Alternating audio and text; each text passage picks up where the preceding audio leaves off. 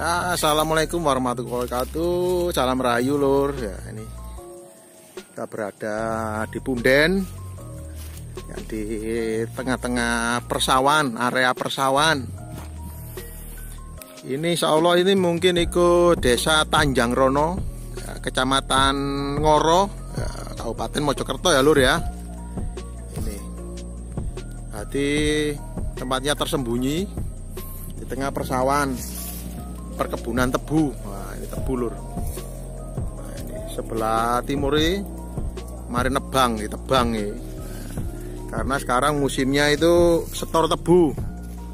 Kalau ibaratnya musim giling tebu produk gula. Ini saya nggak tahu ini makamnya mbak siapa ini. Nah, ini. Yo, assalamualaikum mbak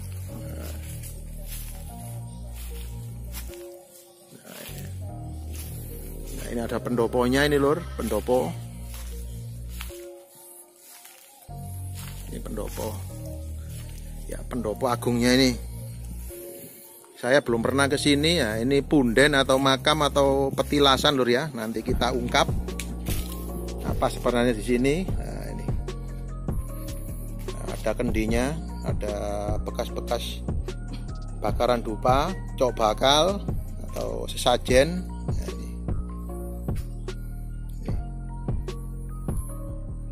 beringin nah ini pohon beringin tahu pohon apa ini di kelambeni kelambeni putih ya. Wah akeh undur-undur lur. Undur-undur. Nah ini. Nah, ini ya ini. Ini tiang-tiang apa ini? Pendopo ini? Ya mungkin zaman dulu ini di kelambeni lur ini bekas-bekas apa sekali lagi kami ya mungkin zaman dulu nah ini ini dikasih baju ya tiang-tiang penyangga pendoponya ini kain putih nah, ini bekas kain apa ini kain putihnya ini ini. Wis mangka terbengkalai lur. Ya? Wis serut? Mana serut ya? Heh? Kudu kayak bonsai enak itu ya. Oke bonsai oh, ada pohon serut lur. Ada pohon beringinnya juga ada. Nah ini pohon oh, pohon kepu ya. Eh kepu ay. yes kayak pohon kepu lah ini. Pohon kepu. Eh mau Kalau ini pohon mangga ini, pohon mangga lur. Atau pohon mangga.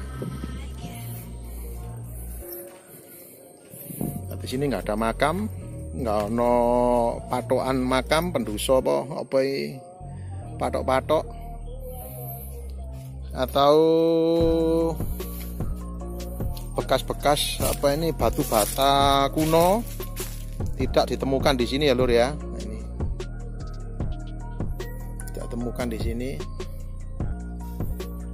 Wah ini akar-akar apa ini? Wit beringin nah ini. Ini sampai menjalar ini. Memang kalau malam ya agak agak seram kalau gitu.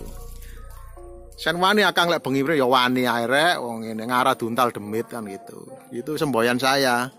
Itu ya karena pekerjaan saya jarang mengeksplor apa ini malam hari ya lur ya. Karena ya suatu pekerjaan itu sampai nu kerja kang yo ya kerja rek. Nganggur rek. Wajiban kerja laki-laki ya.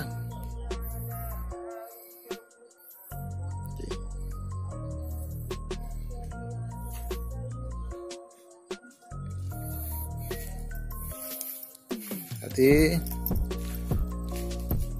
ini bekas-bekasnya ya. Ini jadi seperti sekarang ini ibaratnya generasi penerus yang nguri-nguri ibaratnya tempat leluhur mulai sudah punah. Nah ini. Karena ya ada paham bu sirik bu opo kan gitu.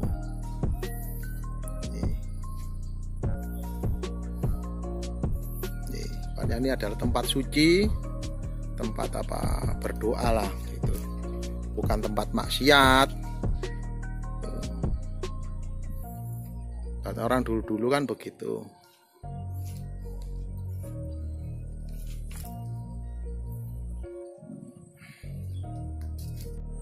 Assalamualaikum warahmatullahi wabarakatuh. Salam Rahayu Rahayu Lur. Nah, Kali ini kita mampir Bolang. Ya memang nggak sengaja. Kita mampir ke Punden nih lur ya. Areanya di pertengahan e, perkebunan tebu.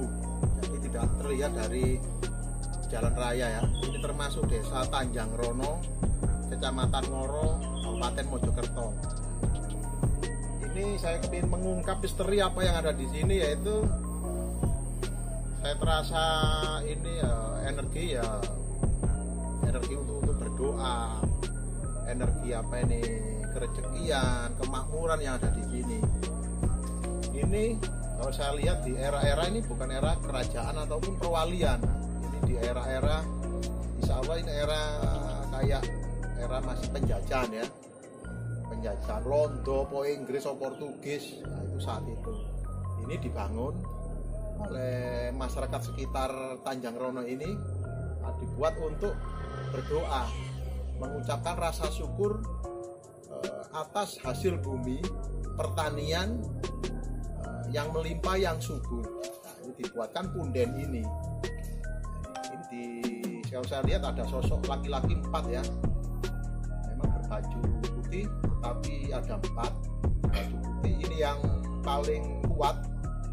Dia bersemayam di sini. Nah, ini di pohon, pohon mangga ini sosok laki-laki ya apa ini ya lumayan tua lah kak tua lah jenggote apa panjang begini membawa uh, tombak ya tombak di sini yang paling energinya paling besar di sini. Kemudian yang ada dua itu di yang kain putih itu dua ini. Nah, itu yang kecil itu konserut itu.